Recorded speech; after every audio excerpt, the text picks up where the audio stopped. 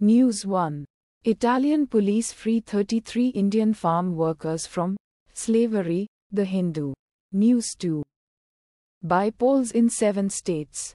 India bloc takes 10 of 13 assembly seats. BJP gets to the Indian Express. News 3. Man circulates daughter's obscene videos. Wife files complaint NDTV. News 4. 8 crore new jobs in last 3 two 4 years. PM Modi The Hindu. News 5. Rahul Gandhi criticizes BJP.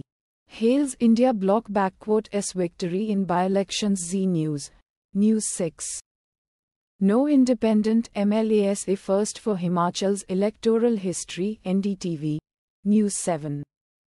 Puja Khedkar controversy. Fresh trouble for IAS officer. Pune civic body puts illegal encroachment notice at residence. Today News Mint. News 8. DMK wins Vikravandi by poll with a thumping margin The Hindu. News 9. More powers for J and KLG. MHA amends Jammu and Kashmir Reorganization Act The Times of India. News 10. Delhi CM Arvind Kejriwal gets interim bail from SC but will stay in jail The Times of India. Automatically generated.